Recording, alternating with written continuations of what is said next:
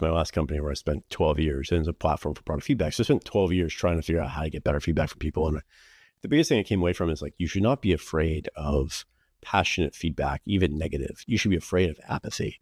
So right. you should be afraid when you send an email, how, what do you think of my product? And no one responds. No one cares either way. When people are mad, they're usually mad because your reality doesn't meet their expectation and they were excited about their expectation. And usually to your point, it's like you just got to flip one or two bits and now they're, oh my gosh, this is exactly what I wanted. Right. So I, but I think that's hard. I actually think the dirty old secret of feedback is everyone says they want feedback.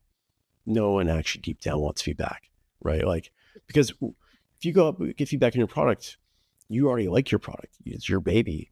What are you gonna what are you gonna hear? Like you're probably not gonna hear it's amazing. You're probably gonna hear it sucks. And like I don't know if I want like at this like core emotional human level, that's a hard thing to hear on something you're working hard on. So I think there's a lot of us in Founderland that delude ourselves and be like, oh, like I cherry picked some people and I got their feedback and we're doing great right? Like totally my little like echo chamber. Yeah. right.